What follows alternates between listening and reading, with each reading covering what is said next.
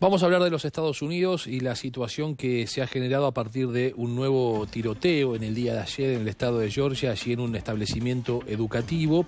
Hoy ha vuelto a hablar sobre esta cuestión el presidente de los Estados Unidos, Joe Biden, a propósito del dolor por lo sucedido en el día de ayer en esta escuela de Winder, que recordemos se cobró la vida de dos estudiantes y dos profesores e hirió a otras nueve personas. Biden elogió las rápidas respuestas del personal escolar y de los socorristas y pidió medidas legislativas urgentes, incluida la prohibición de las armas de asalto y la verificación universal de antecedentes.